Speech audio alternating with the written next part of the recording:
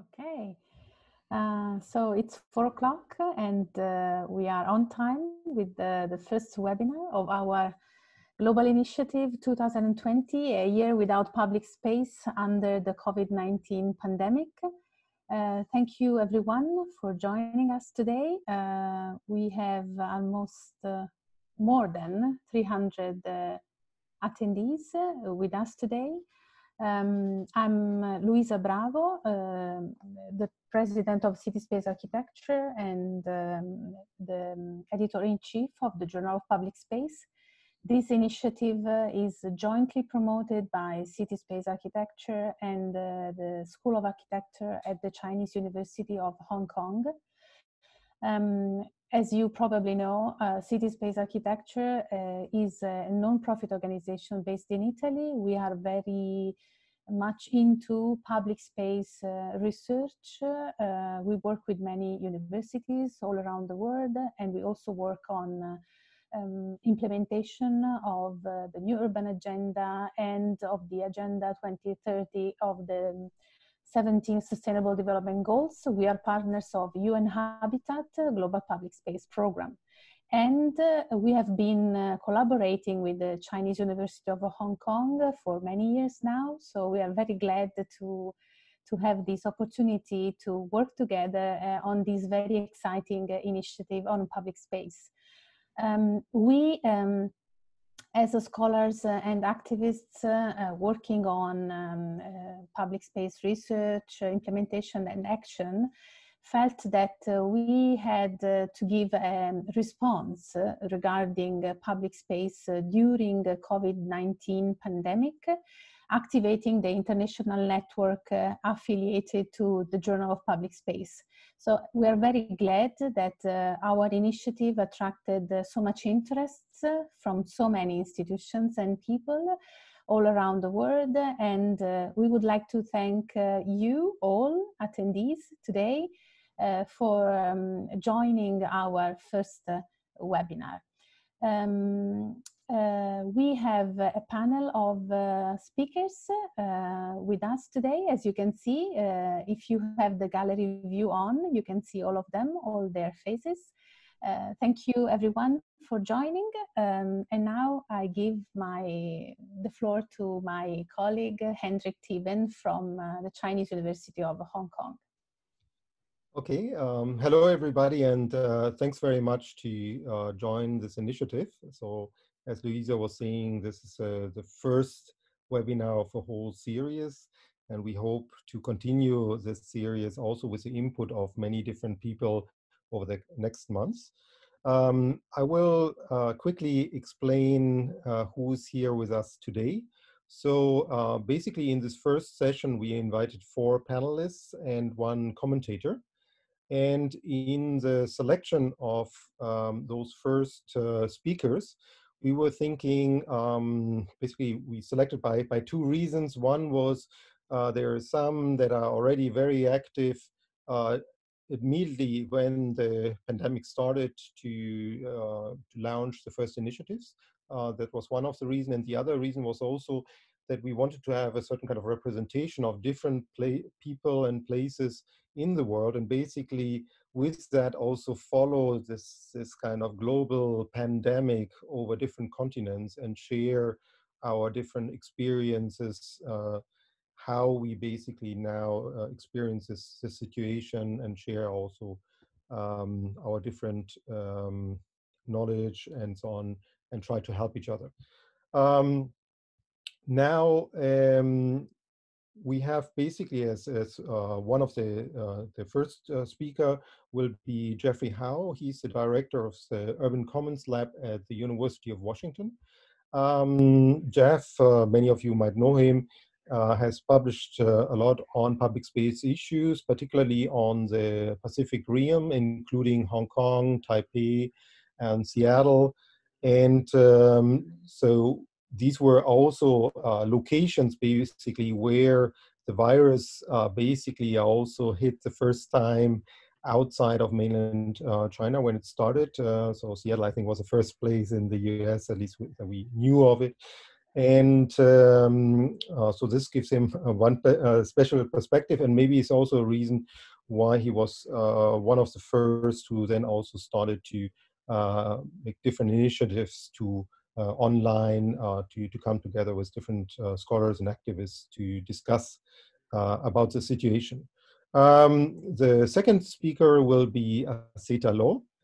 you can also make a, a little okay uh, later uh, Setha is a, a, very distinguished professor for cultural anthropology and she is the director of the public space research group in uh, City University of New York and uh, also Setha uh, very quickly uh, when this whole pandemic evolved started also with her research group an initiative to share different experience online maybe she might talk about this more. Um, then from there, we move uh, uh, more south. Um, so our third speaker is Luis Alfonso Saltos Espinoza uh, from Ecuador. Uh, in, in fact, we met all uh, Luis uh, Alfonso at the Habitat 3 conference in, in Ecuador, right? And he's an architect and urban planner and also involved in many discussions at the moment in in Ecuador and, and uh, internationally uh, related to the crisis. Um, and then as a fourth uh, speaker, we have uh, Mona Helmy, uh, who's an associate professor at the British University in Egypt. And uh, um, I know of Mona because she was the guest editor of a very interesting special issue just some months ago in uh, the Journal of Public Space on placemaking in Arab cities.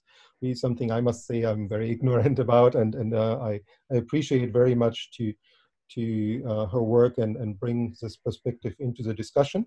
And uh, we thought it might be very interesting to hear from her experience uh, from the places where she works. So we, she will be the fourth uh, presenter. Um, after the four uh, first uh, panelists.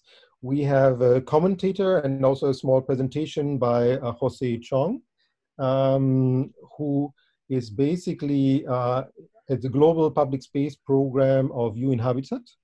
And uh, of course, we are very uh, happy to have him here in this round uh, with this very uh, particular experience because I, I, believe many of the international experience come together somewhere at UN Habitat.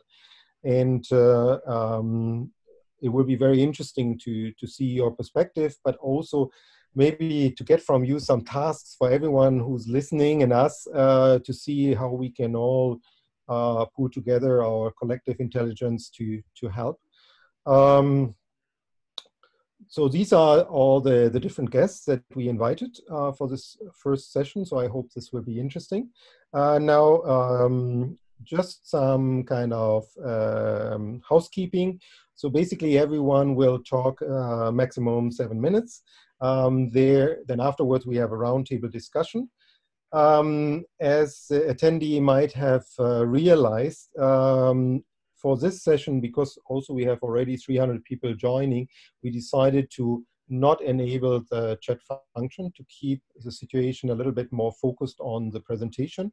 However, of course, we value all your, your input and uh, basically um, there is a possibility throughout the whole event to um, write us um, questions and we have Yin-Fen and uh, Stephanie Cheung who are with our team and they will go through the different questions. Of course, we cannot answer to every question because there might be 50, 100 of, of questions, but uh, they will pick up uh, some of the ones that they find maybe the most uh, thought-provoking.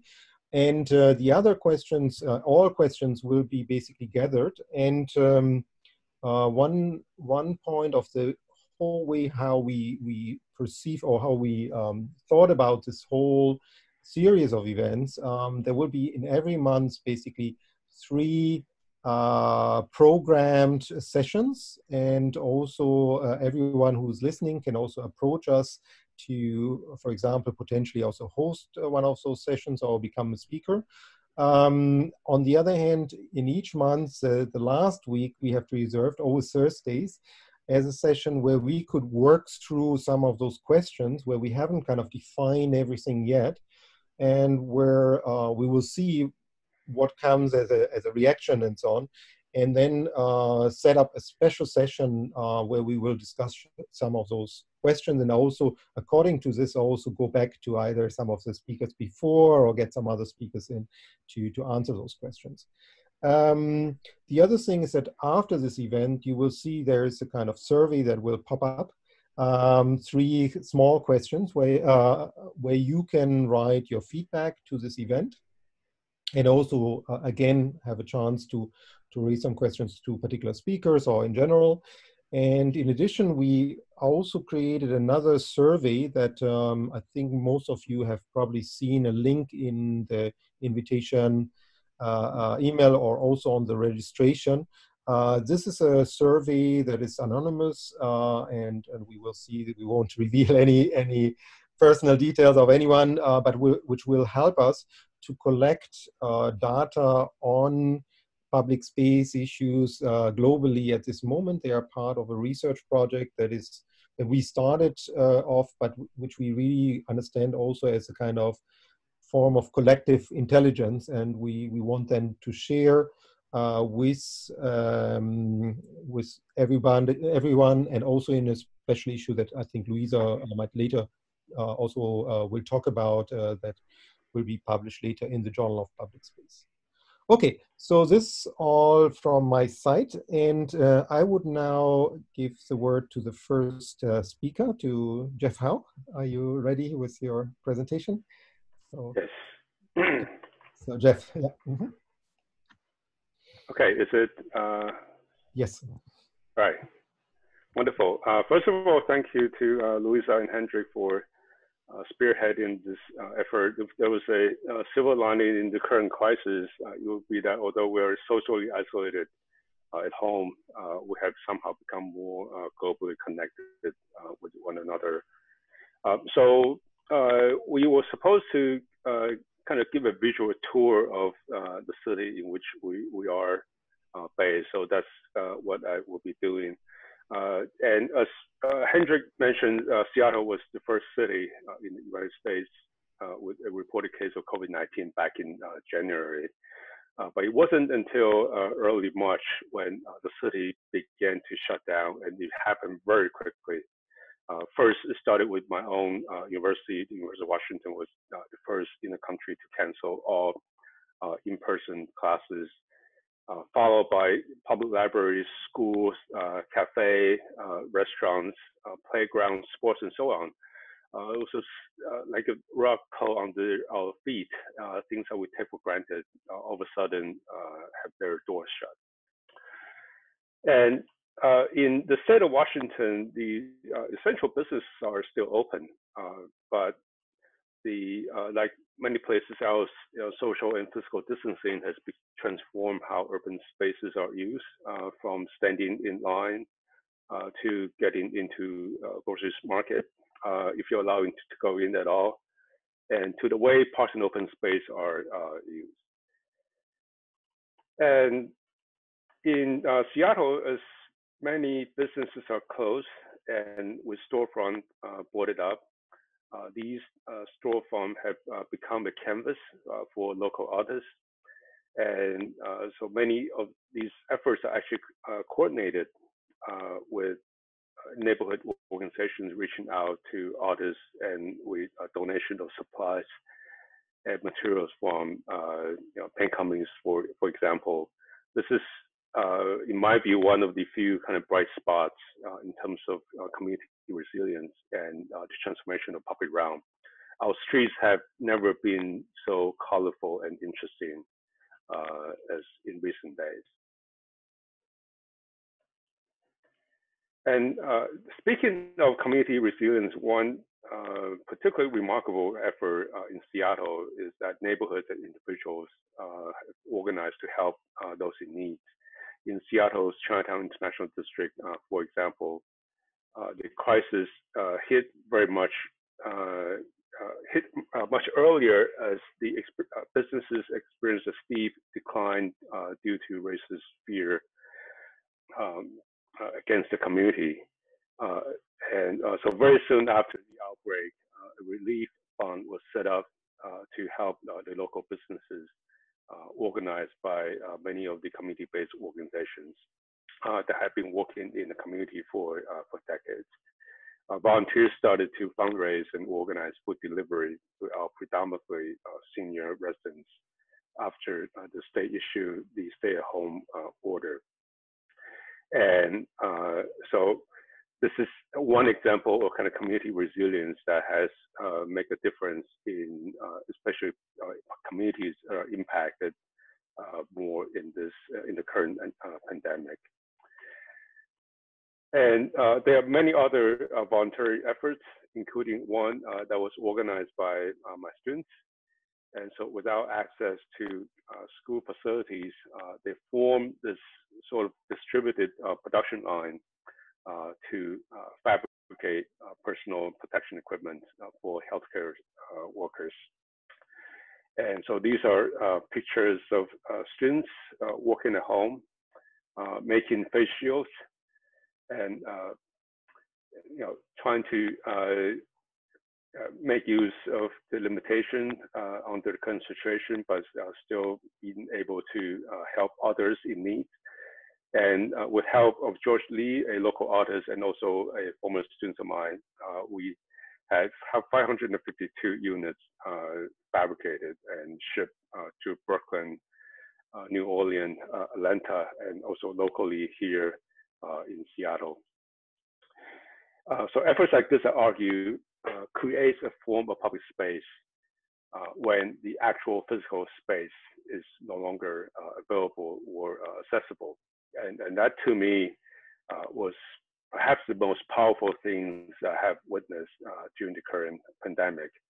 Uh, one that I think challenged the common assumptions of uh, how public realm and public space functions, and, uh, and there are many uh, interesting kind of uh, ramification that we can begin to tease out of this particular kind of scenario. And I'll be happy to speak more about this during the discussion. Um, so thank you.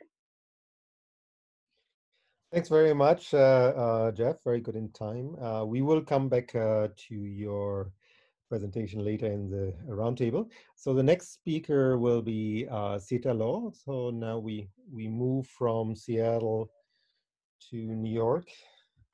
Setha, you have the word.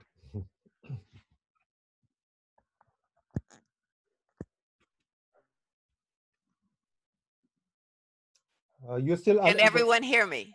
Now, yes, yes. Okay, all right. So, hello, everyone. And again, thank you to Luisa and Hendrik. And after that very positive presentation, um, I, of which many of those same elements, Jeff, are happening in New York. There are all kinds of grassroots groups organizing to help neighborhoods, particularly people who are shut at home. But I am going to highlight um, a, a, a, different scenario, and I think it's worthwhile um, to think about that. Um, let's see, why is this not advancing? Hold on. Next, let's try it this way. Okay. First, I think the magnitude of the problem in New York is um, something that we all have to, you, you, need to understand that the intensity and the amount of fear um, and the number of deaths and the total number of cases um, was, was really extreme we're a highly dense city, but um, as many of you may know, these are two maps. I just want to show you just in case you know where Central Park is, you can see it, and this is Prospect Park. You will note that um, the distribution of COVID cases and of tested COVID cases is very much lower in um, uh, wealthier neighborhoods in Manhattan, uh, in Park Slope, in uh, Carroll Gardens in Brooklyn.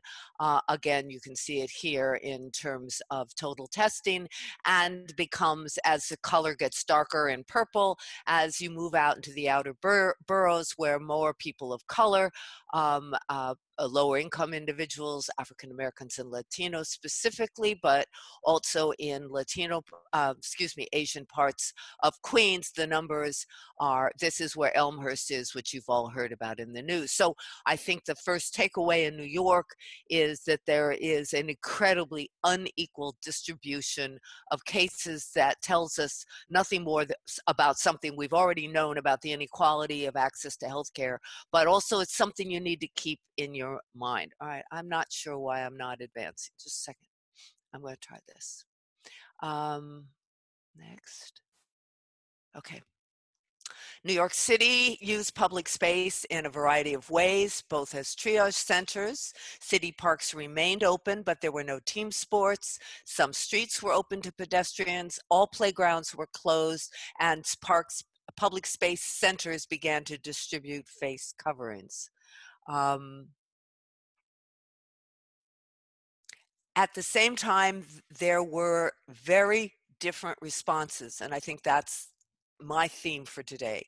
And one of the first was to escape the city, which um, I've been writing about in terms of it was a kind of gated community like response. It was us versus them. This is a photograph of uh, national, of local guards on the border of Rhode Island, but these same guards are found on city, on state borders, and also in front of towns.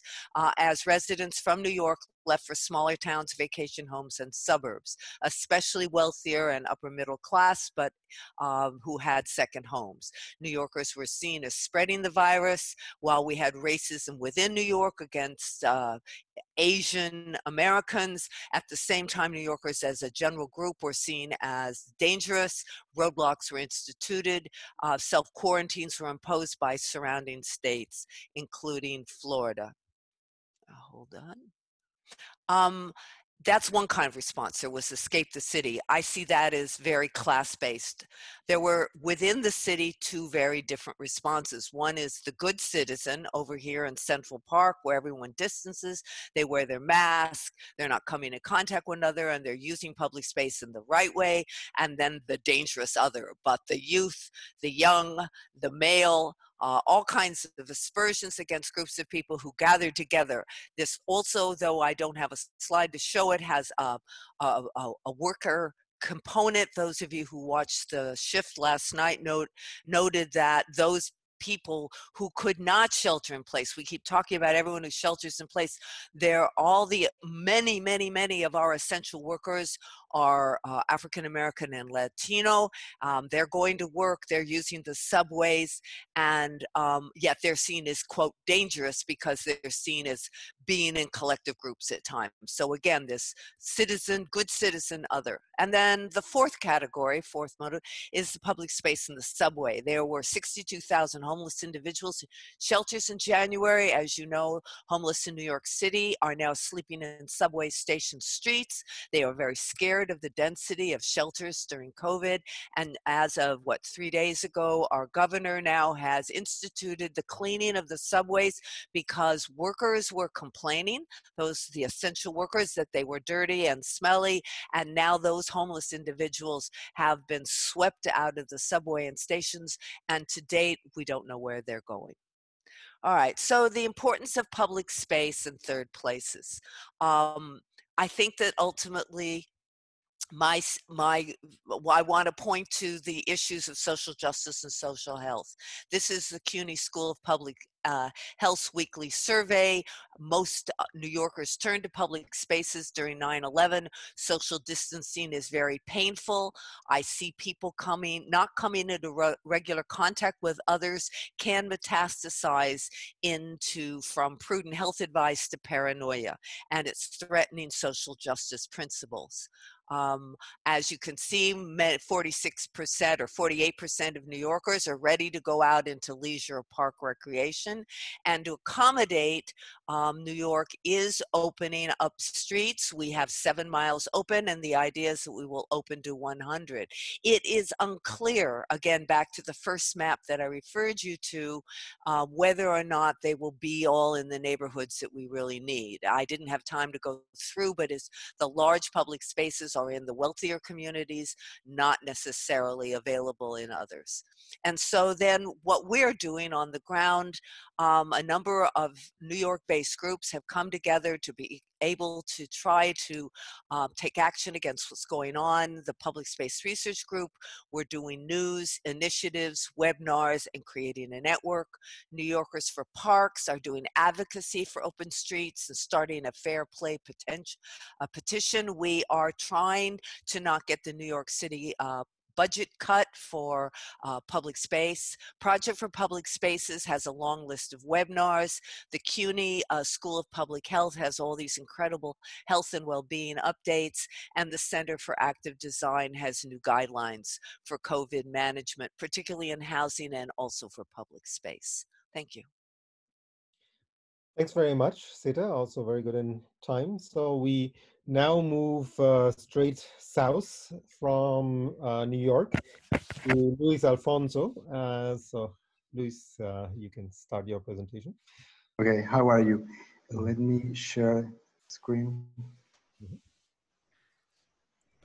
Okay, you can see it? Coming, yeah. Yes. Yes, okay. Uh, yes, I will uh, explain to you what, had, what happened in Guayaquil. Guayaquil was very famous uh, the last month because it was in South America the city with the most cases in, of COVID-19, where the death toll was uh, horrendous. Even the, the city suffered a lot in the, because there were no sufficient hospitals and sometimes there was a lot of cases. Um, okay, a lot of cases that in, in Twitter uh, with a couple of friends, we made a campaign that uh, with a hashtag, we are we will begin to mapping the the death in the in their houses, and in some cases the bodies just weren't recover uh, like five days or seven days for the police to just to recover the, the bodies. Well, that is just what happened in Guayaquil so you can understand what uh, the case. What happened with public space in the city? Well, in, in Guayaquil, there is a lot of problems in the public space. The sidewalks are very short, only like a meter, a meter and a half. And in, in during COVID was the places where people put their bodies of the disease because there was no space to put it, there was no cemeteries, there was no uh, people that recover the bodies. So that was happening in the city. In other places, uh, because the lack of space in the sidewalks, the people have to use the street to do the lines. Even they don't, they don't have the space to have social distancing, so that became a problem in the, in the past weeks. The public transportation is also another problem because even now in the city, the municipality take action in making some ordinance and some laws that in all the buses just have to be the half of the quantity of people that can be in the in the buses. They are not respected because the public transportation, the public transportation have the lack of efficiency.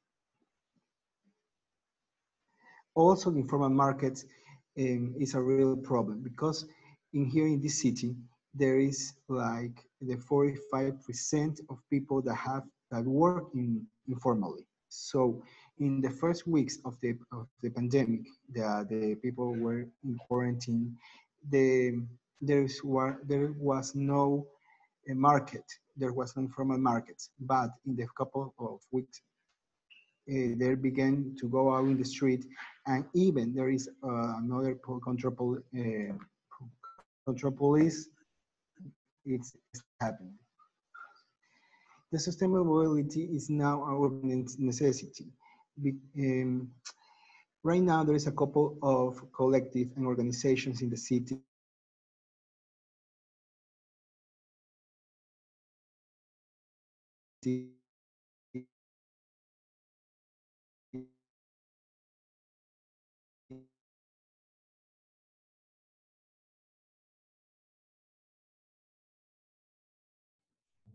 Uh, something is wrong with the, the audio of Luis Alfonso. I cannot hear. Alfonso, are you still here? Maybe we wait for a moment. Um, obviously, some places have more difficulties also with their online capability.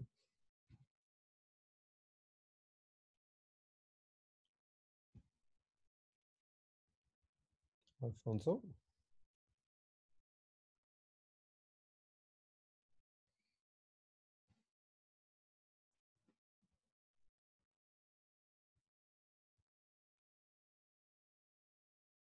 Alfonso, you're you're back, uh, but I think we lost your presentation in the middle. Maybe do you want to still add on the, your last uh, two slides? Or yes, in, in this presentation. Um. Well, I was telling that uh, informal markets are now happening in the city, in the public spaces, because there was no politics in how they work this problem, this urban problem, before the emergency. So this is what's the urgency that we are now have to deal with it. Also, the sustainable mobility is now an urban necessity. Right now, there are some collectives that are trying to make that the municipality adopt this right now. They, they make uh, emergency cycle lanes. Mm -hmm.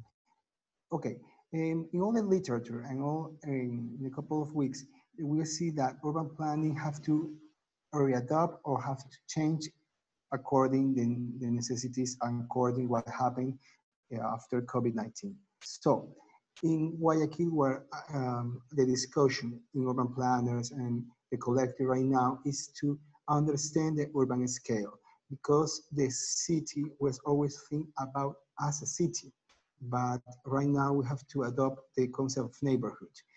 Uh, there, are some, there are centralities in the city, so we have to develop the centralities as the as adopt the services and infrastructure to to develop the necessities to shore the city. As I mean, the reduce the mobility of all the in the scale of the city. The, the informality have to be part of the design. Uh, for many years, there was a discussion that informality of market, of housing, have to be solved, but never have the, the decision, the political decision to confront this problem. Right now, this must have to be. And for the last, the city participation in the new model of the city post-COVID-19, because there is a new necessities of the new urban design and also in urban of the, uh, design of the public spaces to develop uh, more comfortable for the people. Mm, thank you. Mm -hmm. Thank you very much, uh, Luis Alfonso. Um, just also for our audience, uh, the idea also of this first uh, uh, session is really to, to have a quite broad uh, representation of different topics.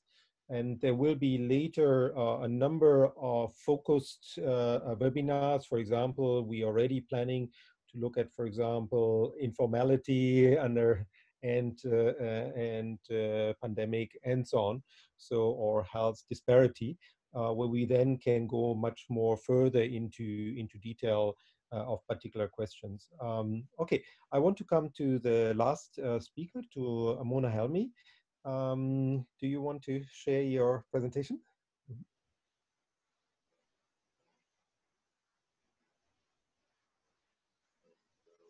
You're still muted also.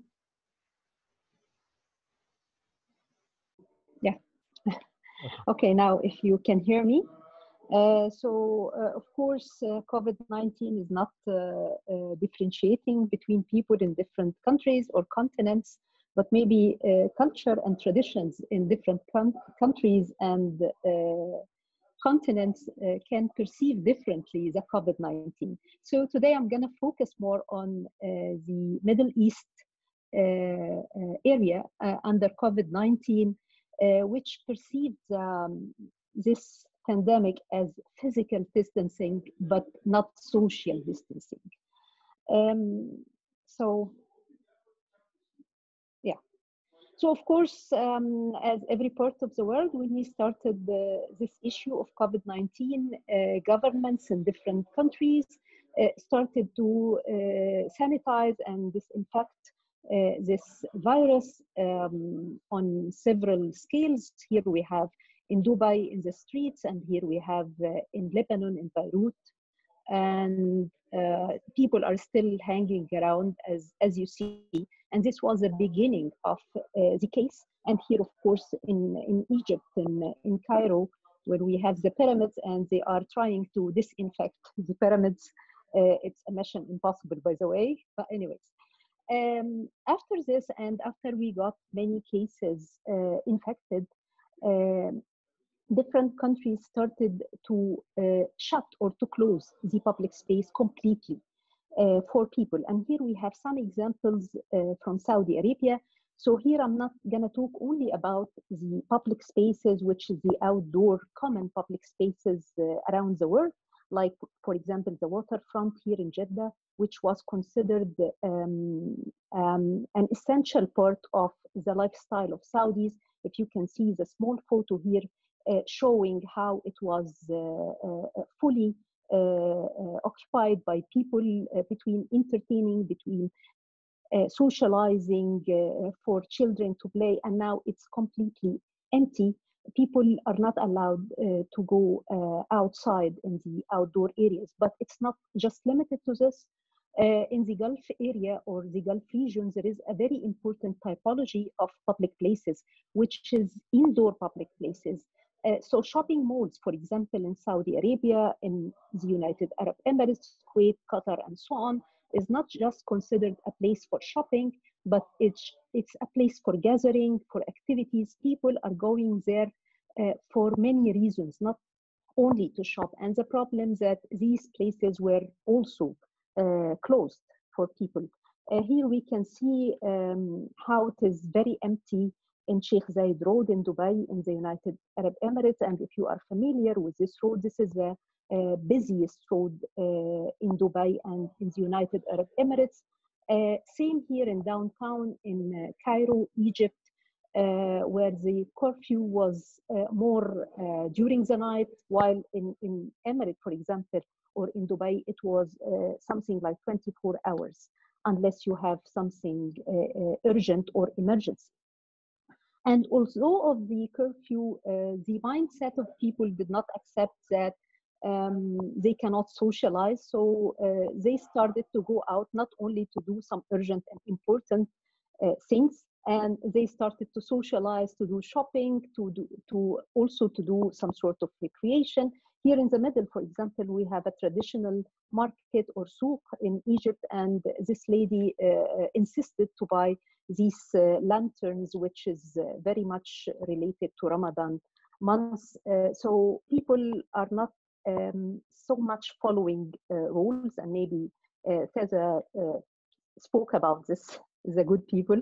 And also during uh, the curfew uh, time, which is night in Egypt, uh, I was able to spot some people who are um, stealing some minutes to physically being together and they resisted to be uh, remotely uh, um, socializing or talking. So they insisted to go and to be uh, side by side and to talk there. And by the way, this is one of the gated communities in Cairo called Rehab City. So the question is, can social uh, adaptability um, reach it here? Uh, can, for example, uh, distance gathering work instead of physical gathering.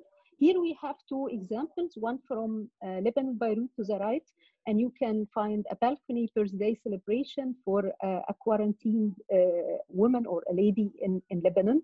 Uh, her neighbors were uh, trying to give her some uh, cheerings through the windows, balconies, and celebrating her birthday. And here in, in Egypt, me and my husband were celebrating via Zoom session uh, a birthday uh, for our uh, neighbor.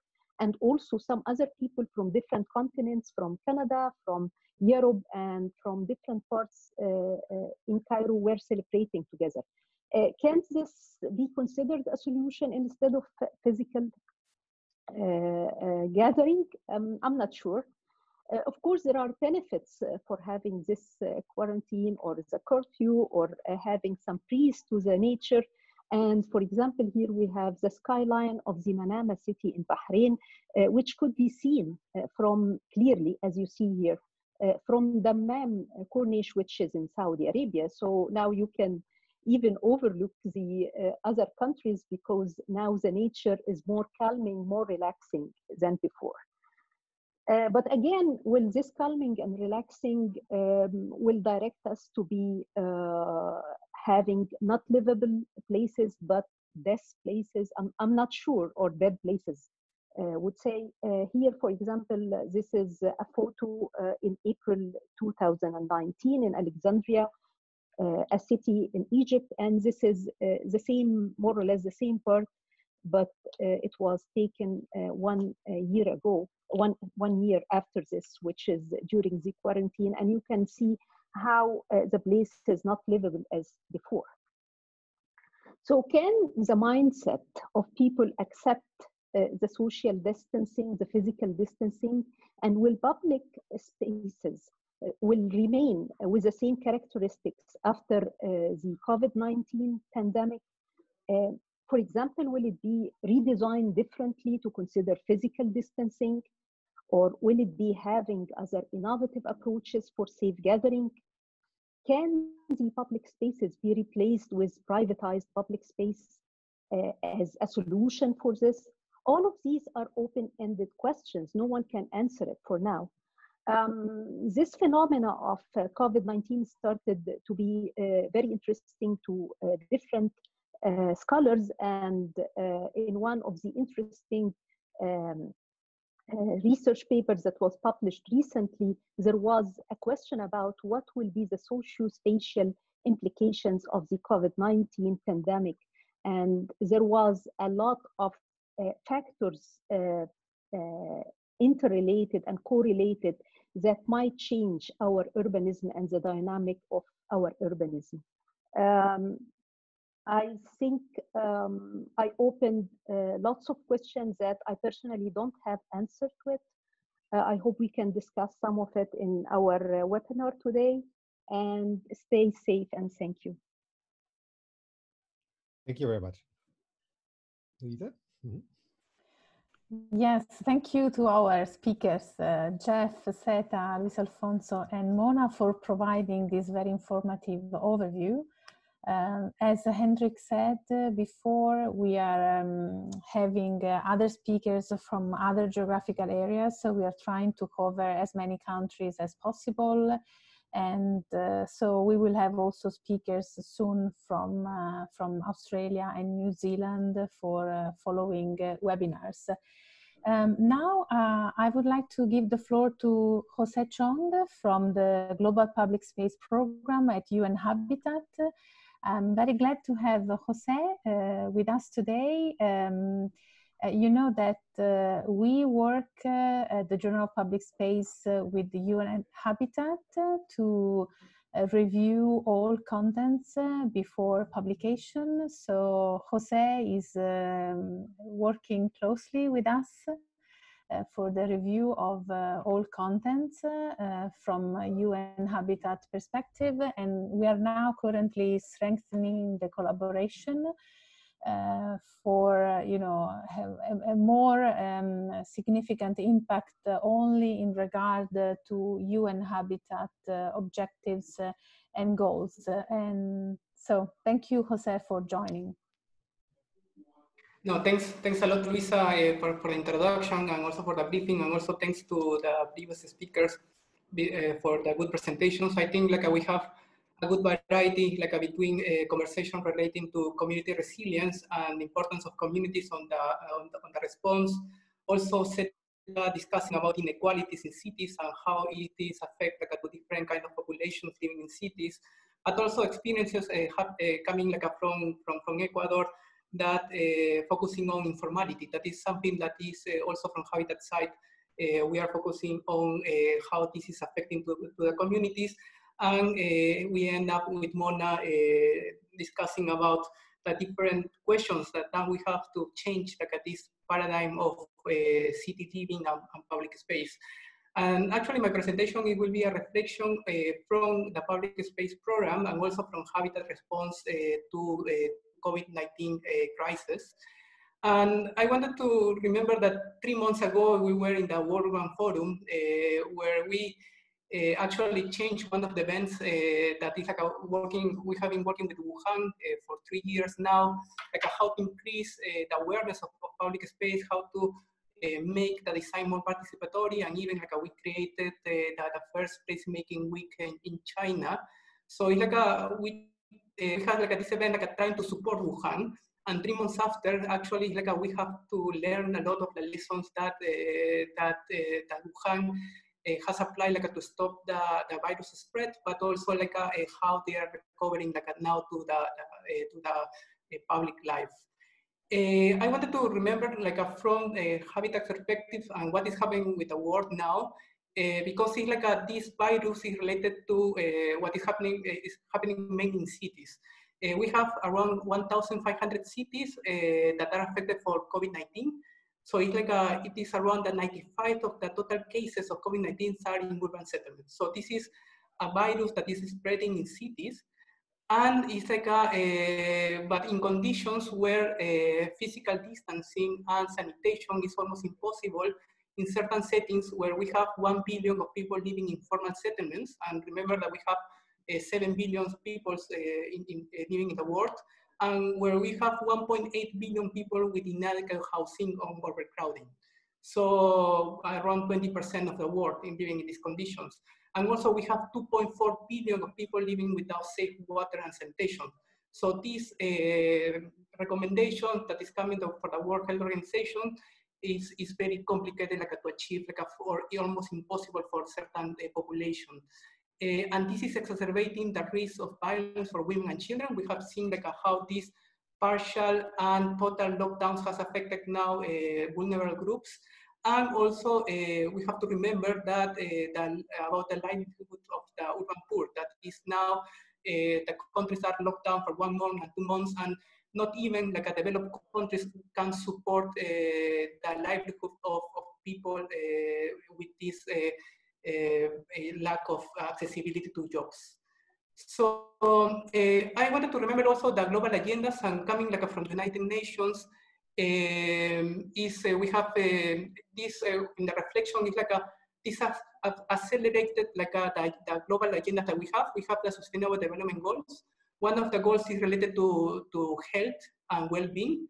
Is the goal three that is ensure healthy life and promote well-being for all at all ages, but also the relation with the built environment with uh, the specific uh, goal on cities that is make cities and human settlements inclusive, safe, resilient, and sustainable. And we have a specific target uh, related to public space. That is important. And more now than ever, it is important like, to relate like a health and cities Eh, to, uh, to recover like, for this uh, pandemic. From the United Nations perspective, it's like a, a and, and, the response, we are focusing in three tracks mainly, health response, humanitarian response, and socioeconomic response. Because we have to remember that there are three crises happening at the same time. Not, it's not only the health response, it's like we're talking about humanitarian and also socioeconomic. Even some countries, uh, for example, in Africa, uh, we have uh, been having meetings with, with different countries, and they were saying that the socioeconomic crisis came before the health crisis because of the lockdown situation, because of the lack of uh, economic activities, etc. So it's like we have to remember that. And like from the habitat side, what we are focusing mainly like is a more vulnerable groups, uh, and we are supporting local governments and uh, community organizations like uh, living in informal settlements, providing uh, accurate data like to have informed decisions on how to combat the, the pandemic, but also uh, we are focusing mainly on how to mitigate the economic impact and initial recovery of, of these cities. Um, you can, you're welcome to join like from, from Habitat side, like we have a lot of resources now online. And what we are doing as a, as a, is, is like trying to collect like different initiatives. Like we have a campaign where we are calling to the different organizations, and I think like we are very well represented here, like to submit uh, what you are doing like for your communities, and actually the presenters, uh, and I think like a Setha uh, with the group, like they were doing like a certain concrete actions that like a, you can document it, and also like to share that information to other partners.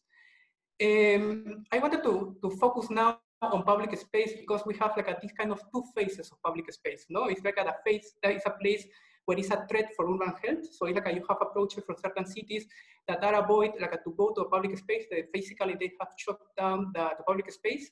But also a public space has demonstrated as a critical infrastructure for the functioning of the city. No, it's like a, to guarantee food supply, to guarantee like uh, a, access to health services and facilities, and also for the well-being of the people certain cities as New York have decided like, to keep open public space for physical, mental, and uh, emotional health. And this is something that we are seeing now that the more and more important that, uh, that countries are now like in two months uh, total lockdown. No, so like the important like, like to have like at least like a place where you can have certain minimum physical activity with physical distancing. And what we are uh, promoting is to have uh, at least like a, an important public space to have short-term interventions. Uh, and what has demonstrated that uh, public space is an asset uh, in time of crisis. And uh, in cities that has a complete inventory of public space and facilities, has managed actually like to respond quickly like to the emergency response and recovery. Because like you have the database in place like to uh, have evidence uh, how to allocate, for example, uh, health facilities and how to distribute food supplies, etc. Uh, something that we have seen and we are uh, in many cities is like a, the repurposing of the land allocated to streets that is uh, allowing at least like a physical distancing for non-motorized mobility activities. We have seen many cities that are doing now open streets, Lima, Bogota, Paris, Milan, etc. And uh, also it is important like, to keep like, this multifunctionality and flexibility of public space and to quickly ad adapt like, to the demands uh, of the crisis. No? For example, the congestion of markets, temporary health facilities, food distribution, sanitation facilities, etc. And uh, public facilities, we see that this is important because it provides the services for marginalized communities. Uh, uh, Setha was mentioning, for example, that, that the amount of homeless that are now in the streets in, in, in, uh, in, in, New York. And for example, they can uh, provide like quarantine uh, facilities uh, for vulnerable population. And at the end, public space is important for the livelihood, particularly for low-income population. No? Like we have in different regions, like for example, in Africa, 61% of the, of the economy is informal.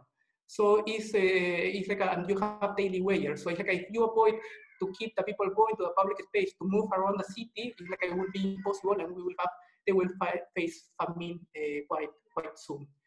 Um, in the long-term uh, interventions, like a, at least like a, we need to assure that it's an equitable distribution of public space, and this is something that is quite important, and we are promoting to have a complete network of public space, at least like a, an open public space 10 minutes walk from home. Uh, and it's like a, you see that in informal areas, for example, in Ecuador, it's like a, you don't have like a, this possibility like a, to have open space. And then like a, to plan for self-sufficient neighborhoods, uh, at least like a, to have uh, that this 15 minute city that is promoting, like for example, for Paris, that it was before the pandemic, but now this has, uh, as uh, the crisis has accelerated certain processes, on urban planning that can allow like to adapt very quickly uh, with this new thinking about how to make uh, the city better. And then like uh, we have seen that urban design, we will have to face another thinking about how to, to design the space, also the use of, of, materials, but also the management and maintenance of public space. And it's like a, there is an example of cities who has an authority of public space or at least a management system that has support the, uh, the health teams like to respond better like for uh, the crisis uh, to stop avoiding the, the, the, virus. But also, it's like a, we see that the public space will be key like a, to the recovery of the public life and the well-being of, of, of, everyone. So it's like a, we will have like a true community engagement, uh, true placemaking activity, true participatory uh, processes. My final remarks uh, is related that now it's like a, we are uh, facing a, a, time like a, that is like a, we will have to have a paradigm shift on city building.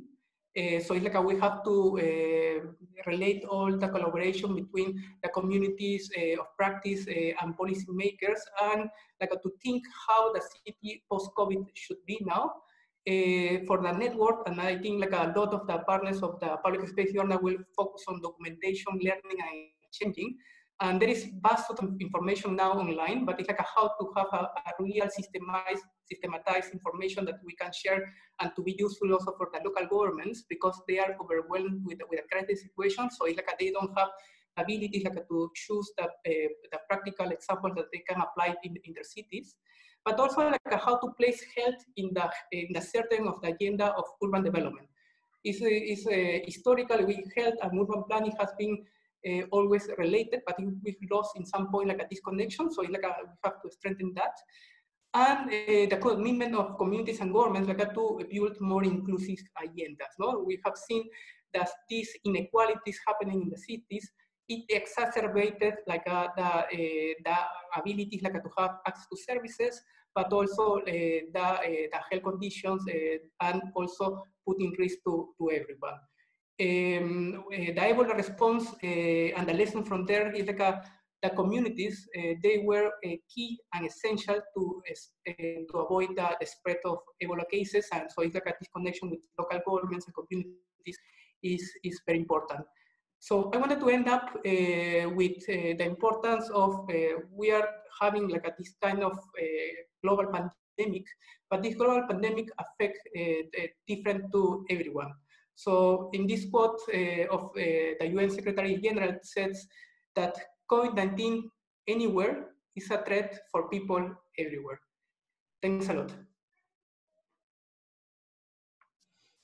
Ah, thank you, Jose, for, uh, for your intervention. That was very useful to frame uh, this uh, COVID-19 pandemic uh, from the global perspective of UN uh, Habitat. And uh, yes, it's, it's a threat for everyone, everywhere so we, we that's why actually we have decided to start this initiative especially because uh, we are into public space uh, at so many levels uh, from many different backgrounds and perspectives so we are trying to provide uh, our response as i said at the beginning but also try to uh, contribute uh, to the discussion if there is any chance that we also find uh, solutions or we can actually inspire solutions uh, for communities, uh, especially for communities at the neighborhood level, as uh, the speakers also highlighted,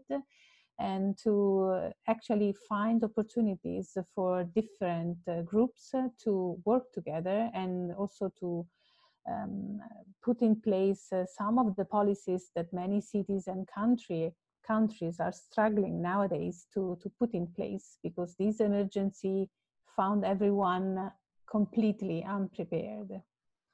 Yes, Hendrik?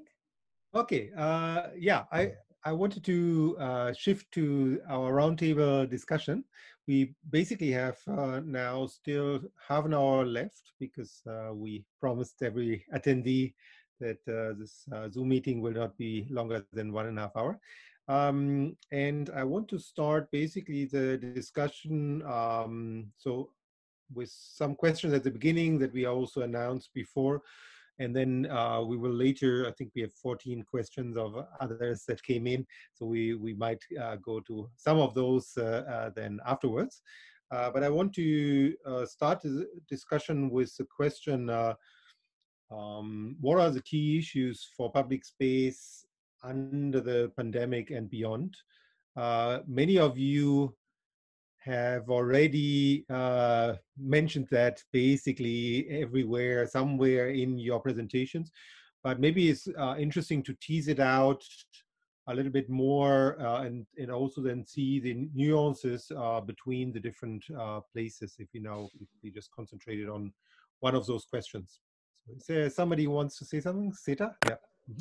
Well, I mean, I think for for from the New York point of view, it is the inequality and inaccessibility of both public space and streets, um, the uneven distribution, and then the sort of sociological phenomenon of the increased racism, um, uh, uh, demonizing of groups that are responding very differently, um, and how that relates to the use of public space.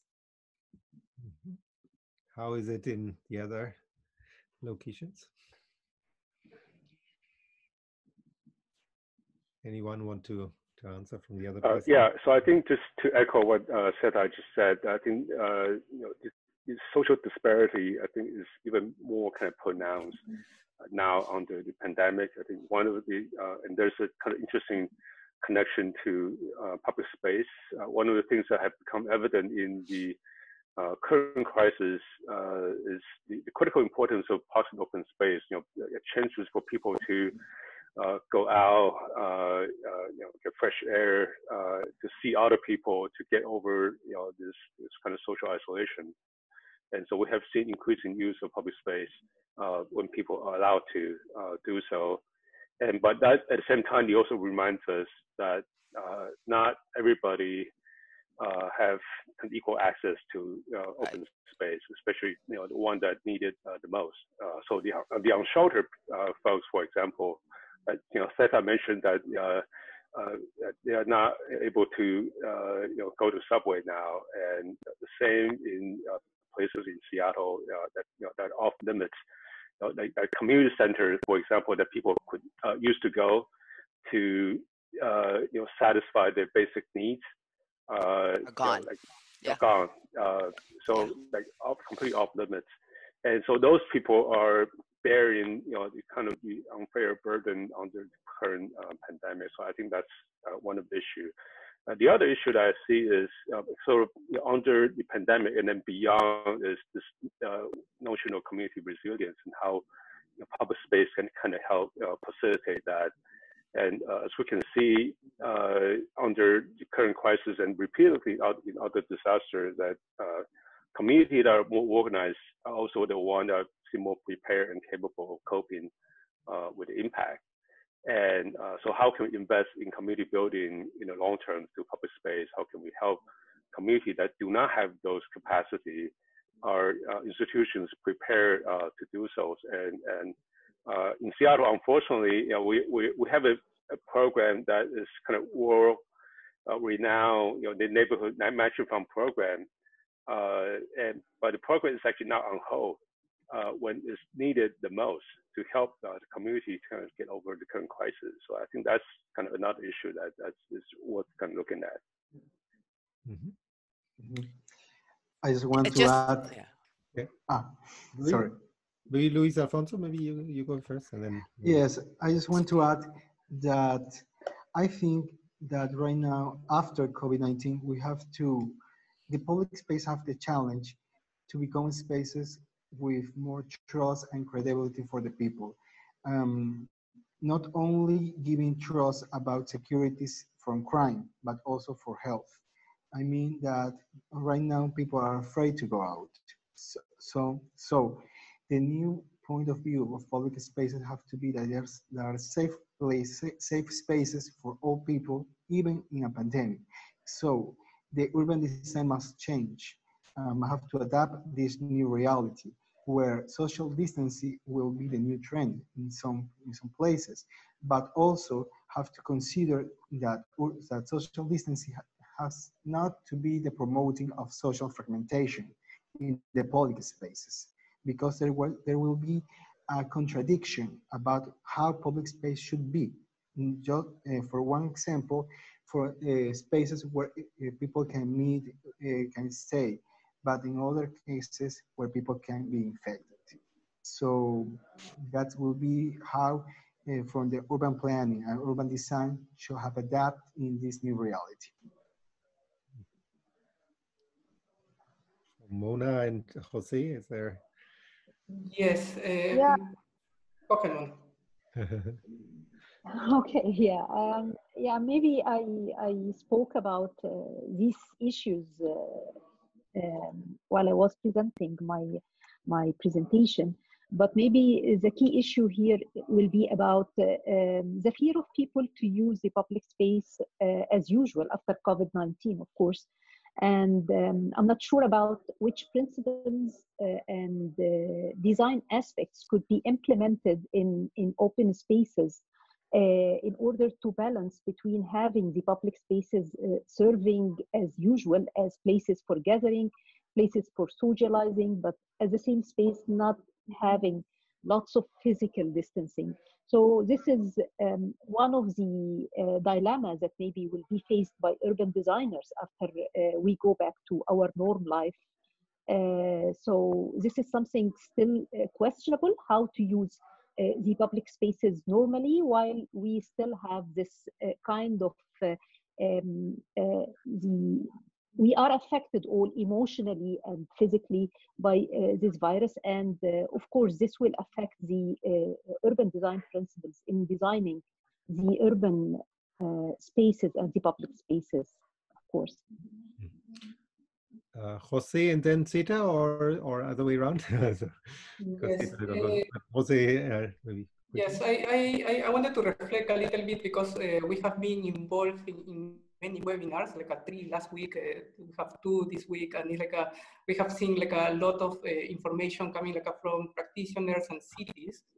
And, and actually, it's, it's, quite interesting. Every time that I mention like a one year without public space, that is the sort of uh, motto uh, of like a, this series of webinars, like a, the, the people start scaring about it, no? Like a, because it's like and it's very powerful in a sense that now the people are not allowed to go to public space, they realize they're important in their in their normal life, no? And it's like a, also there is huge discussion about what will be the new normality, no, after the, the crisis, because in reality, uh, the way that we interact in public spaces uh, will change until we don't discover the, the vaccine but also uh, that is like a, these kind of diseases are more frequently, maybe like a, the, way that also that we have like a, this kind of urban model will have to change and adapt.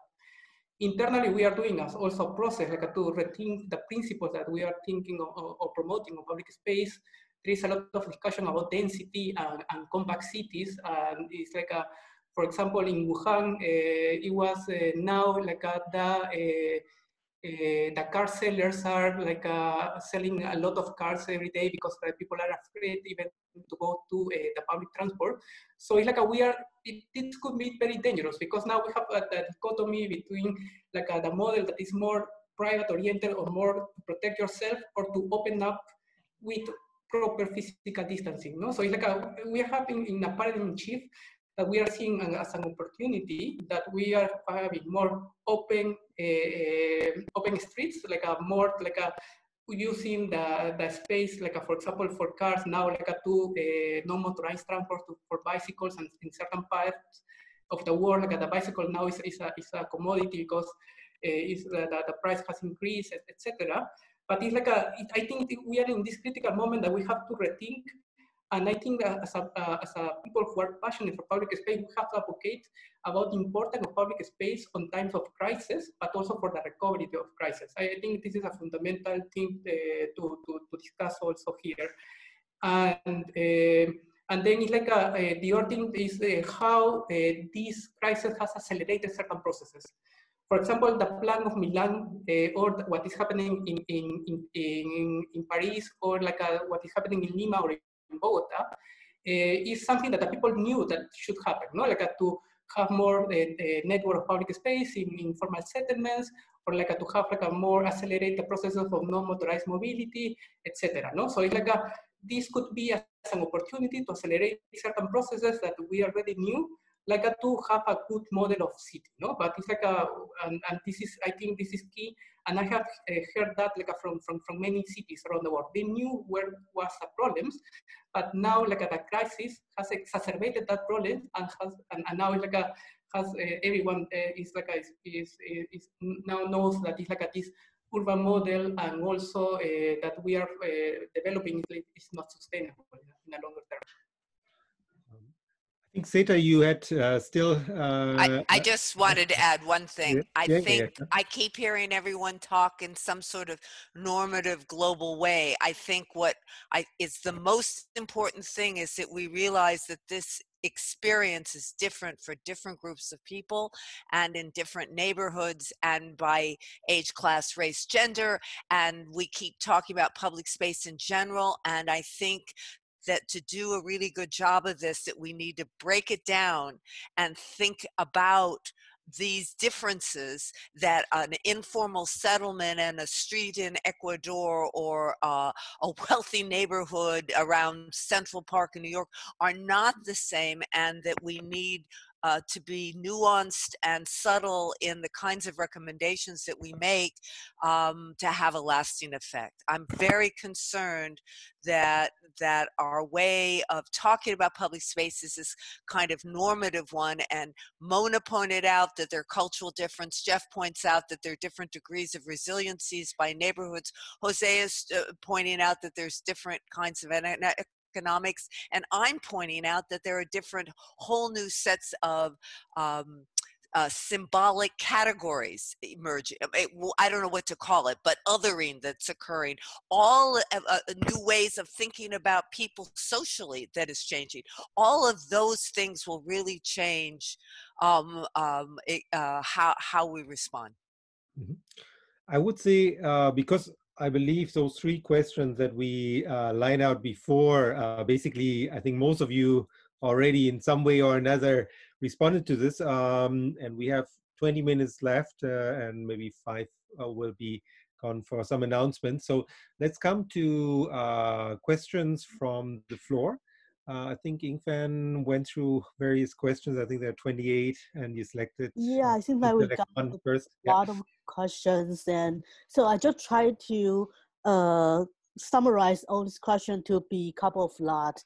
And the first question, I think lots of the uh, audiences they would like to know uh, about how could we in this kind of situation uh, keep the rights of the low income community still be access to the uh, public space or what's your uh, opinions about this kind of marginalization situation? Seems like uh, because of the lockdown or the crisis of the public space and everything turned to be um, much more than the past. So do you have any uh, or uh, in your places does your government has any kind of have any kind of policies to address this kind of issues? Maybe that's one. Or how could we, uh, as a community member, to initiate something to to address this issue?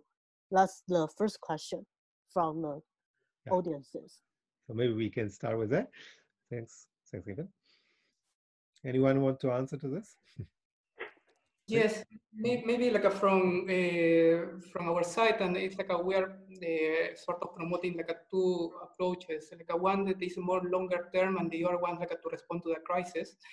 Uh, in the longer term, I think will be very important, and we have like a large programs on, on slum upgrading, so like a to improve the condition of people living in informal settlements. Uh, but also, I think this has to be accompanied with the uh, social uh, housing uh, programs. No, like we have seen that in many countries, like a social housing is something that is is, is not tackled, and it's like a, they have uh, led only like at a private market, like a to uh, to to, to to to have like a, the housing at a housing provision. So I think in the longer term, I think this is are two key factors that we need to to address. In the short term, it's like a, from our response and experience, for example, in Kenya, uh, what we are doing is, is uh, providing uh, now support like a, to to provide like a, sanitation facilities in the public space. So at least like they have the possibility like, to wash their hands or like a, to or, or, to clean up a little bit also uh, the use of public facilities and public services uh, like a, they can, for example, can be a sort of uh, quarantine area in Lima, uh, they are using uh, some public facilities uh, as a way to allocate or like to host the homeless people. So I think like a, you have to think that it's like a vulnerable community, like a, they will have to, they will need to have like a, this support. Uh, and uh, also it's like a, how to uh, allow them like to at least like a, to certain sort of income because no, we know that it's like a, these people like a, maybe they can survive like a one week or one week and a half, but it's, then it's like a, you will have to provide them like a, with a certain food supply, cash contributions. Uh, certain governments are doing that, but uh, many countries they don't have the possibility, so they will have to go to work eventually. So it's like a the decision that some of them are facing. It's like, a, should I stay here and and and uh, uh, and, and, and without anything to eat, or like I should go and face the, the crisis and right. like exactly, uh, exactly. Income. And it, I think it is fundamental. And uh, and for example, it's like a the congestion of markets, no, at least. Uh, or like a, to be able like a, to move safety around the city. I think that there are issues in the in the medium and longer term also. Mm -hmm. Setha, you you still want to add something to this, or yeah. no? I think this okay. is great. Yeah. Um, shall we have one more question from the audience? Uh, yeah, and um, I, I think lot of audiences like also curious about uh, what will be the future of our public space, and especially we are talking about the planning and urban design under this kind of field. Will this kind of like a social distancing turn to be a key key key elements we need to take care and in the future design or or how could we how could that turn to be? And also maybe another thing is uh, question is about uh, could we also use the public space as a as a key point to do some resilient design to help our society or community in the future to rehabilitate from this pandemic crisis? Anyone wants to answer Setha? Mm-hmm. I have so many different answers. Um, I think the distribution, I think that the biggest issue that's coming out of every webinar I've been in is it's the distribution of public space. And I think Jose, you talked already spoke about that eloquently that the that the amount of public space and the distribution of its inequal in unequal distribution and the unequal use of even streets let's say from a pedestrian for who can use the streets and when they can use the streets for pedestrian versus not will change. And i think that um, there certainly will be in many countries I hope I see in the United States um, more alternative systems of movement. I, however, also agree with something that I think was brought up by all the panelists that I think there is concern about the decrease in use of, uh, it was actually Jose also, the decrease in use of uh, public transportation and an increase in private transportation. But my other response to this is that um, again, I come back to the social part of it. I, I, I think that um, in terms of planning, there is only going to be so much we can do as city planners or urban planners or design planners to reconstruct the way public space will be. I think it's a social process also that we're involved in. Uh, Jeff seen the positive, Seth has seen the more negative that will, no, but seriously, in terms of what public space can be, I can show you public spaces that are really working effectively. And if we get 100 miles of streets where people really can walk, and I see that as a really positive way of going forward and imagining the future of the city in which we will have epidemics. But I can also show you the other spaces that Jose and I was actually talking about where people are coming together and clustering in ways that will in fact promote infection and that that's to me a social issue, not just a physical design. Yeah, I think the, the other side of the coin is that even though you know the social distancing is now seen as a necessity, but we are also seeing there is a desire to you know become even more kind of socially connected, right? Right. Uh, so how can we uh, kind of foster that through the design of public space, uh, either through you know better, more equitable kind of distribution of public space, and also how like within each public space, how can we kind of facilitate those kind of social connections. Uh, it's now becoming even more important as it's kind of you know the deep human uh, needs to to be uh, to be connected, and how can we support that through public space. I mean, the big question that came out last night was is virtual space going to be the connection? And then will inequality also pervade that and that our internet is private, Jeff? So, I mean, I think that that's something we're not talking about here, and I'd love to have a session sometime. But if it's if the internet is private and we want to promote public space and we know public space does things that the internet can't do especially for community resilience, how do we participate in that? I think we, there will be certainly one one session on the digital part uh, as well. It's already in discussion. Uh, how about uh, Mona or Luis? Uh, anything from from your side or? or yeah, I, I, think so. Yeah, you go first. Yeah. No, please. Okay yeah i, I think it's uh, there are many ideas on how to uh, redesign existing public spaces or how to re- to design the new public spaces. And uh, maybe i mentioned some of it as questions. Can we do some sort of limitation uh, uh, of usage? Can the um, um, the increase of using the internet and the social uh, venues uh, through the internet can uh, having less load on the physical spaces. Of course, we cannot ignore the role of the physical spaces in, in social interaction, the genuine one, I would say. Uh, but uh, we cannot ignore the fact that uh, now we are talking to each other more, even in, in, maybe in the same family. They can talk to each other using the WhatsApp instead of just, just going out and staying uh, uh, in the reception and talking with each other.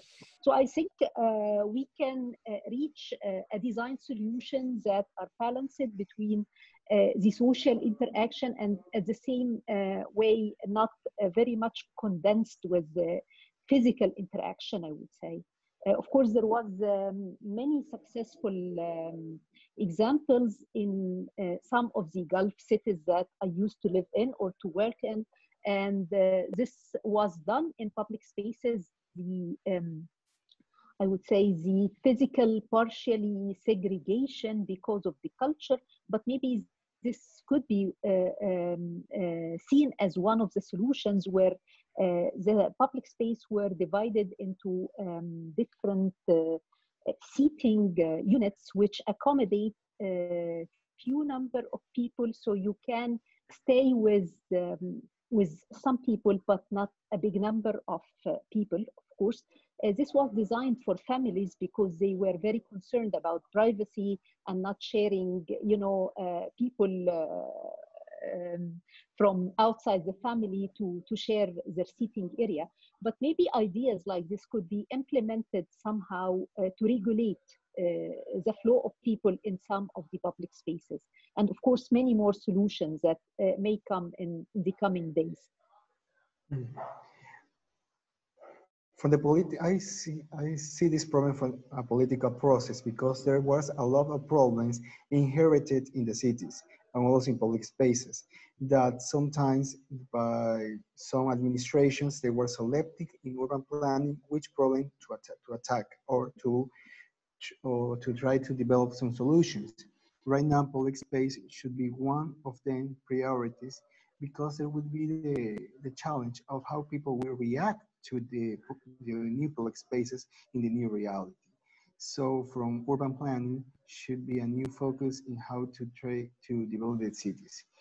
From the from what Setha talked about the internet, I see that there's not only the internet, but also the process that that that happened that some private places like house and like balconies like also like reconnected with your neighborhood are now the new public spaces so how to the from the architecture point of view how to develop this new concept of city or neighborhood to adopt to adopt this new reality mm -hmm. Okay, I would say, uh, or there, was there something you wanted still to contribute, Jeff? Yes. No, oh, well, or, very, yes, yeah. uh, only like a, uh, I think uh, in uh, the studies that is like a, we have conducted, uh, and it's quite interesting that trend like a, actually like from the beginning of, uh, of, of, the, century, the last century, and then like we have like around 25% of land allocated to streets. And uh, in 2015, we have around, around globally uh, uh around 20% of land allocated to streets.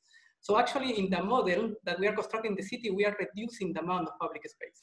Mm. And this is something that we have to keep in mind, like a thinking of like the trends that are happening, and now what will happen with the, the city post-COVID. No, I think that this is fundamental, but because naturally we were losing uh, amount of public space, and we see that is uh, more and more important uh, for that.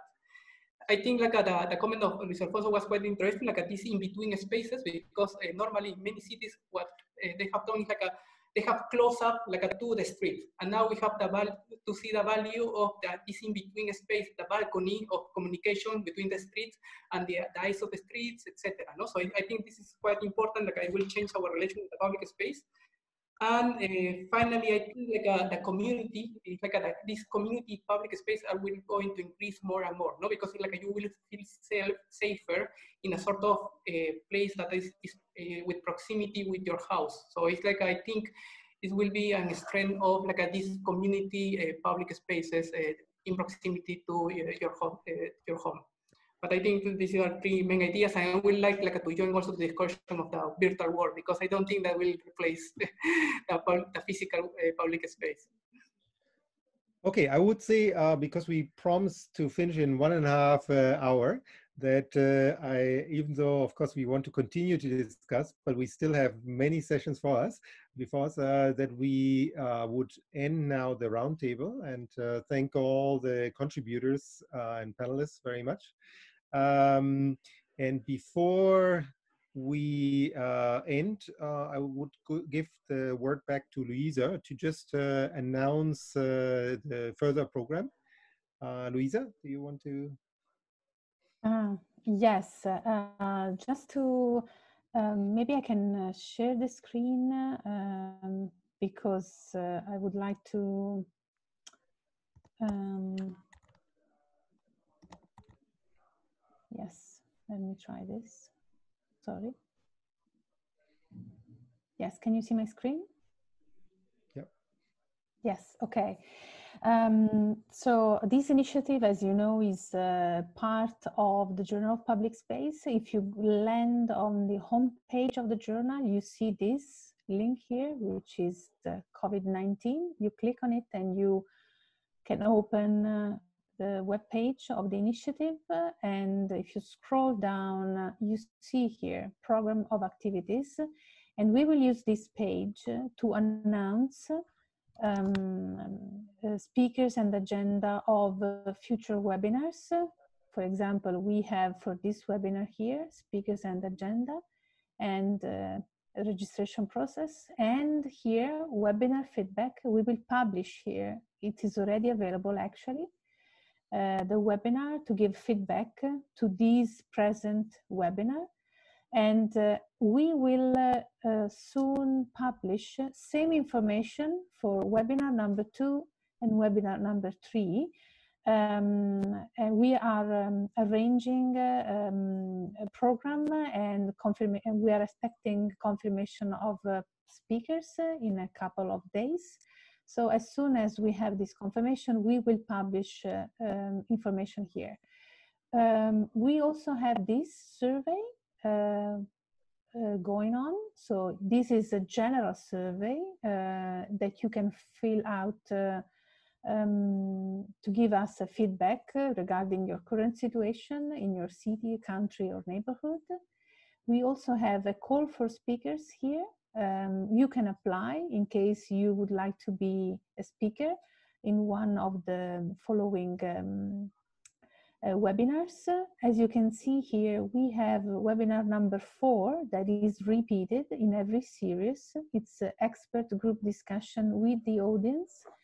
So we would like to engage um, the audience much more than we did today um, by, you know, collecting questions uh, and uh, trying to create a more collaborative environment uh, so that we establish a connection real connection uh, with the audience. And then if you scroll down again here, we have a call for papers currently open for a special issue of the Journal of Public Space, uh, which is a response to this COVID-19 pandemic. Um, the deadline is May 15. We are asking for short papers of maximum 2000 words. You can read all instructions here. Um, we actually are about to publish a special issue of the journal um, next week on uh, public health and well-being in open public spaces. This was uh, related to a previous call. Uh, so this was uh, designed and planned well in advance uh, from the COVID-19 pandemic. So we will have this special issue on public health and well-being in open public spaces before the pandemic and this special one during and after, well, hopefully some contributions will also discuss the after um, uh, pandemic. And then finally, just to point out to this one, call for advisors on public space. Uh, through the Journal of Public Space, we are trying to expand our network um, of um, experts um, and uh, activists, uh, scholars, um, community leaders, uh, professionals, city managers working on public space. So the submission is also open. Thank you. Sorry, I was too long probably. Thank you very much. Uh, thanks to all speakers, and I hope this was interesting for our uh, uh, attendees. And we will go through all your questions. By this time, I think it's 38, and also read the surveys afterwards. I think we kept time uh, almost uh, two minutes late, and uh, I hope we will see you back next Thursday. So thank you very much. Thank you so much to all of you for running it. Thank you. Thank you. Thank you. Bye. Thanks. Bye Thank you.